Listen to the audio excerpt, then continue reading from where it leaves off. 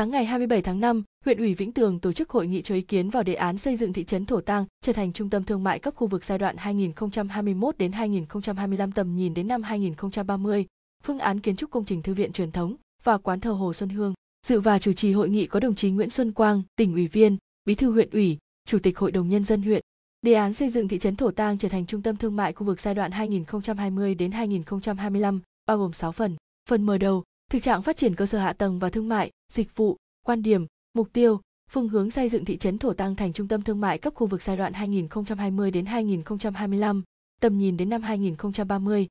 Giải pháp thực hiện, hiệu quả của đề án, tổ chức thực hiện.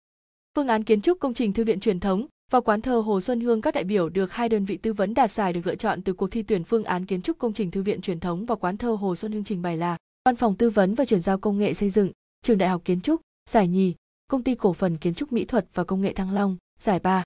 Tại hội nghị các đại biểu đã thảo luận, cho ý kiến vào đề án trong đó tập trung vào tính khả thi của đề án,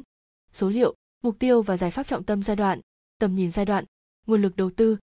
việc duy trì cảnh quan khi thực hiện xong công trình. Kết luận hội nghị, đồng chí Nguyễn Xuân Quang, tỉnh ủy viên,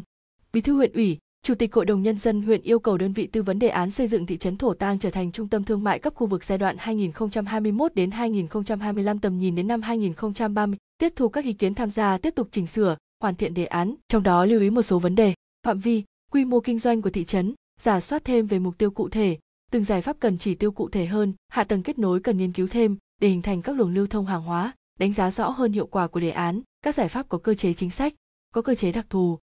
với phương án kiến trúc công trình thư viện truyền thống và quán thơ Hồ Xuân Hương trên cơ sở ý kiến của các đại biểu, đồng chí Nguyễn Xuân Quang, tỉnh ủy viên, bí thư huyện ủy, chủ tịch hội đồng nhân dân huyện thống nhất lựa chọn phương án kiến trúc công trình thư viện truyền thống và quán thơ Hồ Xuân Hương được đa số đại biểu thống nhất là phương án của công ty cổ phần kiến trúc mỹ thuật và công nghệ Thăng Long, giải ba. Ủy ban nhân dân huyện chỉ đạo cơ quan chuyên môn có giả soát lại tiêu chuẩn, quy chuẩn và đề xuất phương án xây dựng công trình văn hóa,